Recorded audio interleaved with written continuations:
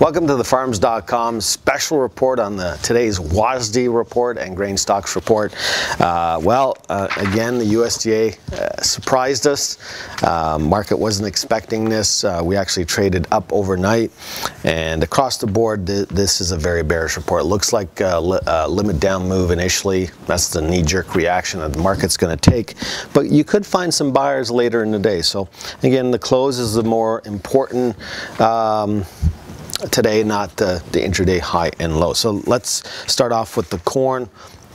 Corn, you know, up 14.1% here in the last uh, two to four weeks, largely due to some dry weather in Argentina, but probably combination of a, you know, less liquidation from MF Global going bankruptcy and, and less fear from European debt crisis. But today, USDA reports ending stocks come in at 846 million bushels. That's 2 million less than last month, but higher, 96 million more than the expectation of 750. So based on expectations, this was a bearish report. Production comes in higher.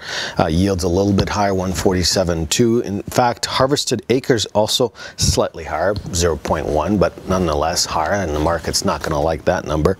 Um, exports were increased by 50 million bushels to 1.65 billion bushels. Global corn production also up, and uh, USDA does lower Argentine production from 29 million metric tons to 26.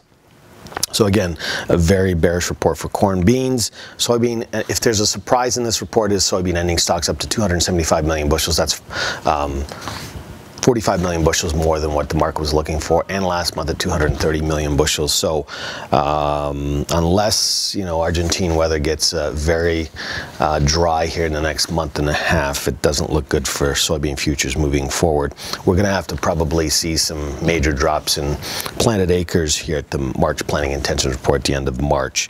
Uh, global soybean production does drop a little bit. Argentine soybean production drops to 50.5 from 52 last month, and Brazil drops from 75 to 74 million metric tons. Uh, that ending stocks number came in at the high end of expectations. The range was 127 to 285, and it came in at 275. So that's a bearish number.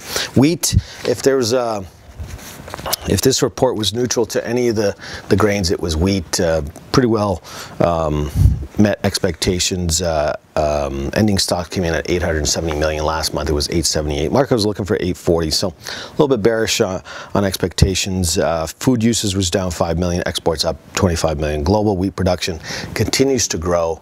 We're swimming in wheat. It just gets worse. 691.50 million metric tons. Um, and then stocks came in at 1656, lower than expectations of 168, uh, 1.68 billion bushels. So, uh, again, overall bearish report. You're going to have to look towards the March Planting Intentions report. Once we get past the report, the market's going to have to probably turn to the outside markets, European news, or Argentine weather to move much higher. But we're going to do some damage on the charts today. So look for opportunities in the future. If you do get rallies, make sure you hedge 2012 because if we're going to plant 94 million acres, that may bring too much production in the second half of 2012. Thanks for watching. Take care.